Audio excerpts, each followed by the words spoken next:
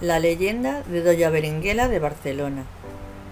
Cuenta la leyenda que en el año 1139 el rey Alfonso VII del emperador reunió un ejército en Toledo para atacar la fortaleza de Oreja o Aurelia cerca de Aranjuez, último bastión musulmán muy estratégico que resistía en la frontera del Tajo. Enterados los almorávides de, de Córdoba, Sevilla y Valencia de que la ciudad de Toledo quedaba desprotegida, mandaron un gran ejército para ayudar a la fortaleza de Oreja y cercaron la ciudad de Toledo. La soberana, que entonces contaba con 23 años, se asomó a la que hoy se llama Torre de la Reina para reprochar a los musulmanes el atacar a una ciudad defendida por mujeres.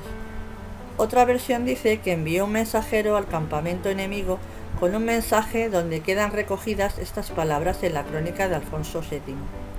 ¿No conocéis que es mengua de caballeros y capitanes esforzados acometer a una mujer indefensa cuando tan cerca os espera el emperador?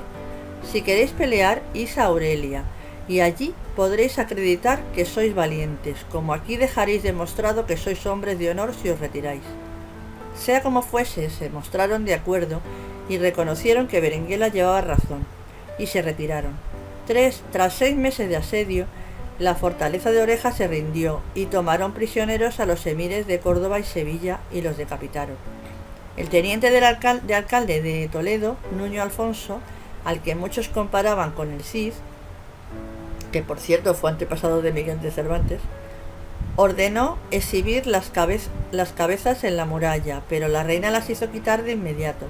Mandó embalsamar las cabezas y meterlas en cofres de oro y llevarlas con un carro hasta sus viudas.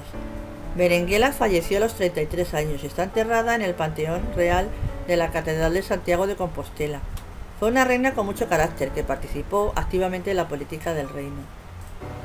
Si te interesan mis vídeos y te han gustado, suscríbete a mi canal.